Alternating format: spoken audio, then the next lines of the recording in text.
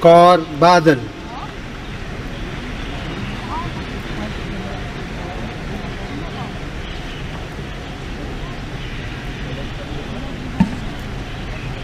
I, I, Harsimrat Kaur Badal, do swear in the name of God that I will bear true faith and allegiance to the Constitution of India as by law established, that I will uphold the sovereignty and the integrity of India, that I will faithfully and conscientiously discharge my duties as a minister for the Union, and that I will do right to all manner of people in accordance with the Constitution and the law, without fear or favor, affection or ill will. I,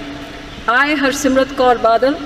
do swear in the name of God that I will not directly or indirectly communicate or reveal to any person or persons any matter which shall be brought under my consideration or shall become known to me as a minister for the Union, except as may be required for the due discharge of my duties as such minister.